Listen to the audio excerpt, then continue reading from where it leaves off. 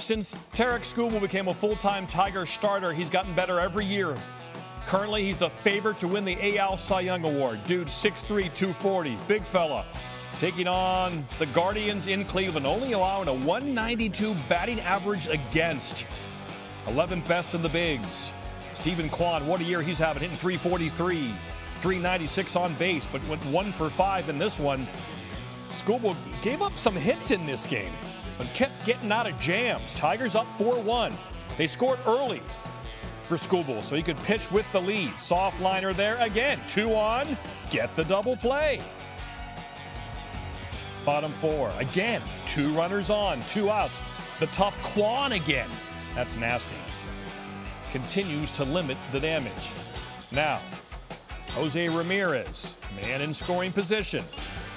98 Cheddar.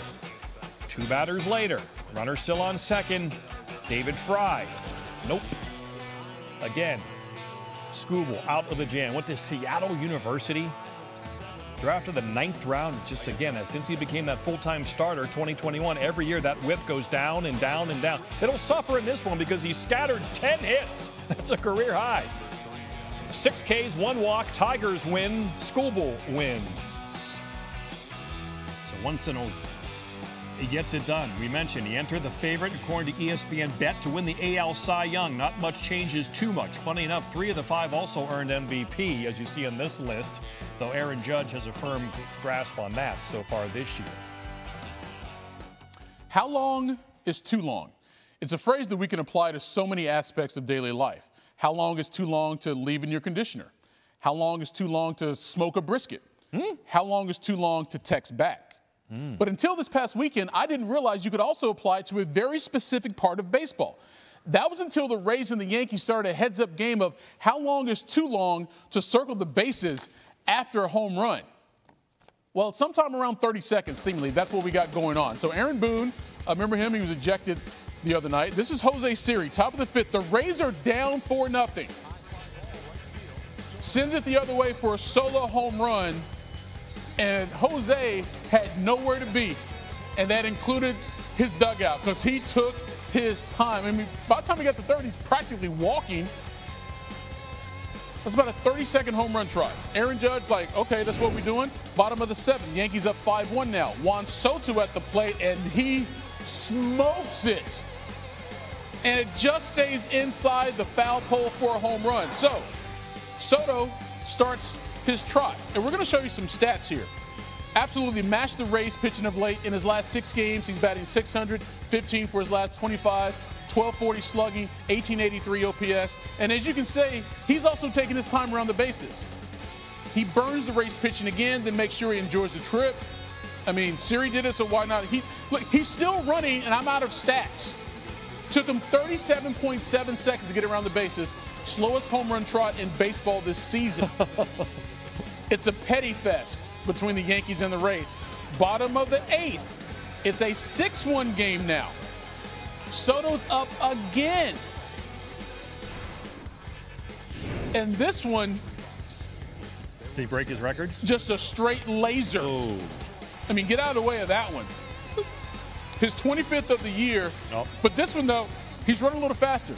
Bucci, he cut off 13 seconds. Ah. I think he proved his point with his last one. He laid off the carbs. So he just moves on from that one. So what's up, fellas, with taking so long to get around these bases on these home runs? Oh, by the way, the Yankees did win it. They needed that one, 9-1. But let's hear some sound.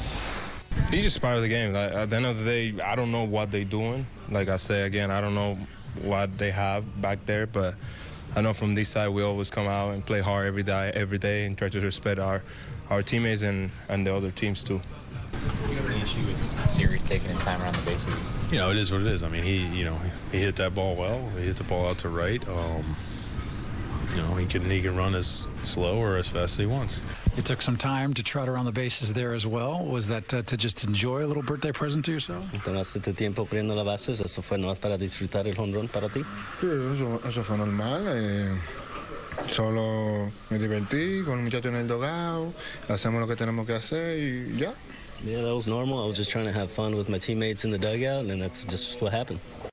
Did Soto say anything to you on his trot out there? I couldn't tell if he was looking at the bullpen or at you. Ah, te dijo algo Soto cuando él corrió las bases. Él no sabe si estaba mirando al bullpen o, o a ti. Yo no sé, en verdad a mí no me importa. eh, yo, por mí pueden durar 30 segundos para un home play y yo no me voy a molestar. Eso, eso son cosas que a mí no me afectan. Honestly, I, you know, I don't know. You know, that's something that doesn't affect me. It looked like he ran about 30 seconds around the bases, but like I said, that's stuff that doesn't bother me. All right, so this series had a few home runs, um, and it took some guys some time to get around. Six different home run trots, Bucci, took 30 seconds or more. And of course, it was Soto who had the longest. The last time someone for the Royals hit for the cycle was 1990. Wow. The Hall of Famer George Brett. The longest drought of any team in the league about that? without a cycle. But here comes Bobby Witt Jr. He can do it. Bottom of the first, down the right field line, and he Whoa. is on his giddy up. Whoa. That's his 10th triple of the year. That's the first Royals player, Bucci, with 10 triples before the start of August since Jose Offerman in 1998. Whoa. How about that for a name? So triple is usually the hardest one to get, right? Yeah. So you get the triple. So then what do you do? He can do that. Hits lot- it in the gap, off of the doubles. wall. Lots of doubles. That's a double. So now Salvador Perez is up later in the inning, and that is crushed. That is not to help Witt for his cycle watch, but home runs are always fun. We like to show them. So the Royals take a 4-3 lead courtesy of that. Let's go to the bottom of the fourth. Witt, like, oh, we close, y'all. We real close. Three-run home run. Royals up 8-3. Now it's just a single away. Bottom of the sixth, 9-3 game. He needs that single. But the first pitch of the at-bat, he gets bumped right up in the arm. Humberto Castellano plunks him. Perez is like, yo, what's going on? Cycle watch continues. Top of the seventh now, Gabriel Moreno gets hit by John Schreiber. So now the umpire's like, you know what? We ain't having this. You warned, you warned. That's what it is right now. But after the warning, Torey Lovullo gets tossed. Like, what is going on? They're like upset. There's conversations.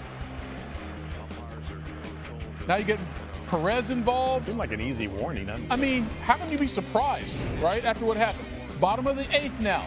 Last opportunity for Witt, and he was not swinging for a single. I'm just saying. I know. And he shouldn't, right? Pops it up to right. First player, though, in Royals history with a home run, triple, double, and hit by pitch in the same game. Afterwards, he was with Royals TV reporter Joel Goldberg. The homer and the double and the triple. Here comes Salvi.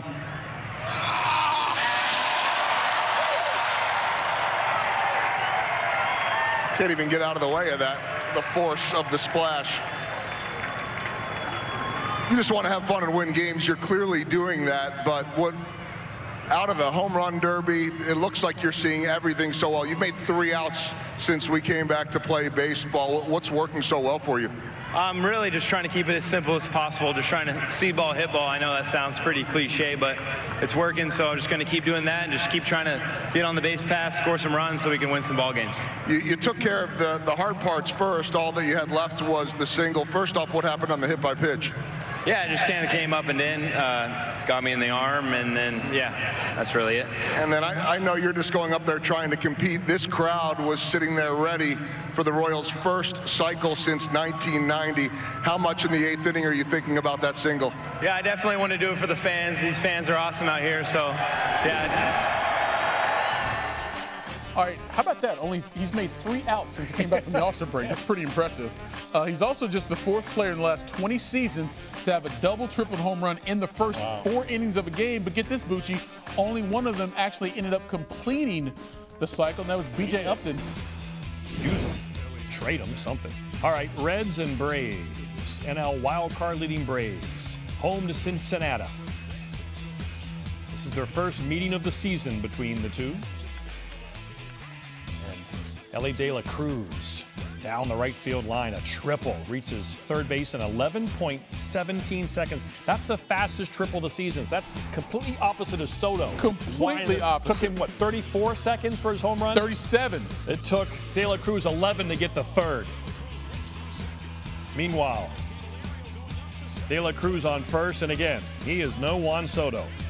He has given the people speed after the Candelario grounder down the right field line. First to home in 10.19, even quicker than his triple. He goes 270 feet.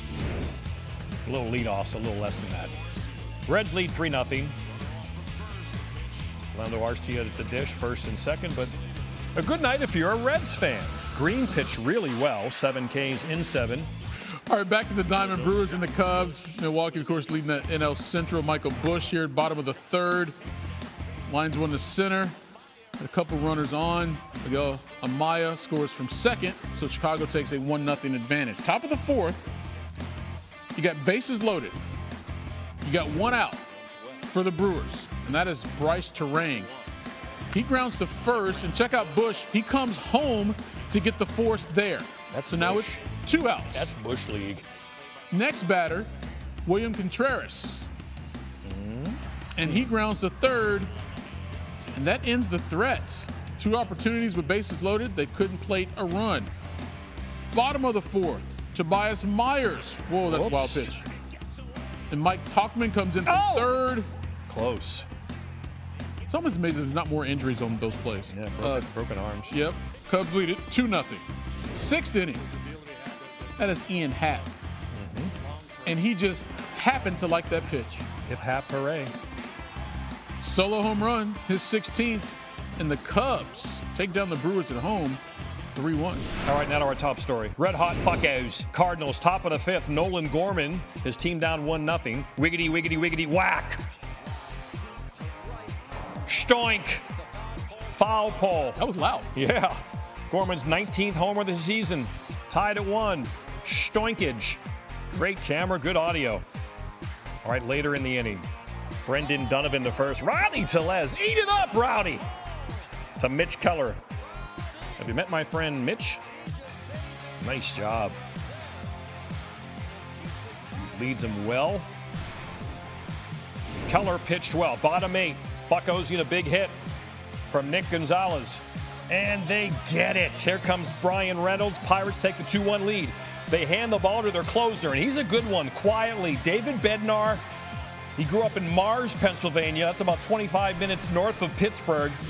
Tied for the league lead in saves last year. Only three Pirate relievers have at least tied for the league lead in saves. Dave Giusti, Mark Melancon, and that dude. Skenes will pitch tomorrow. Pirates win again. They're two games over 500. No Kent Tekulve? No, I was surprised. It wasn't in. Never led the league in save. Teak, number 27. On me again? Yep. I was, I was just about to enjoy a beverage. It looked like it. Francisco. That's fun to say. That's his uh, 18th homer of the year. Had 31 last year, Eves. Who drinks chocolate milk at this hour? Oh, I love chocolate milk, and it's gone. You know, it's good to drink milk at night, actually. Not in the morning. Drink it at night. Sounds like a podcast. Jazz Chisholm Jr. doesn't like that call so much. After the game, he went on the Twitter, the X, and robot emoji. I love the robot. He's rooting for robot umpires. That's not good for the unemployment numbers. Francisco. That's fun to say. Twice. Second homer of the game, 19 on the year. Again, had 31 last year. He could get there again. He got two full months to go, more than two full months. Mets lead 6-3. All right, Bryan De La Cruz, bottom nine. And Diaz, I, I, I, sh- I Ah, throw it. Oh, he probably should have done that to begin with. Would have had two outs. Now there's still one out, and the bases are loaded. But then Josh Bell rips it to second. Jeff McNeil makes a nice play, but he'll take the sure out. But a run does score. Two on, two outs, and that's a nothing burger from Jake. Diaz gets the job done, and the Mets hold on to win, six to four. Rangers White Sox, top of the fifth. Chicago's up 2 1, runner on first. Andrew Benintendi swings, misses. Catcher Jonah Heim drops the ball. Luis Robert advances the second. Now, Rangers manager Bruce Bochy comes out like, I think that's interference. Was it? Was he in the way? Well, Benintendi didn't seem to interfere with the glove. Bochy gets tossed, though. Fourth this season, passes Ron Gardenhire for seventh most on the all time list. Good to see Bush, uh, Bochy lose some weight. It's nice and fit out here, winning that World Series last year. Uh, bottom of the ninth. He should voice documentaries. Yes, he should. Amazing voice. Time up the middle. Go ahead run comes in the, excuse me, ties it up at 3 3. We would go to extras. Wyatt Langford. I like that kid's game. Thanks for coming out. God bless. Good night. We're walking it off 4 3 in 10 innings. Uh, look, the White Sox have had some issues, uh, but this no one wants this on their resume. 75 losses in just 102 games. That's the third fewest Wow. in the expansion era. Uh, that 1962 Mets team, Yep. that was the first year of their existence. Yep.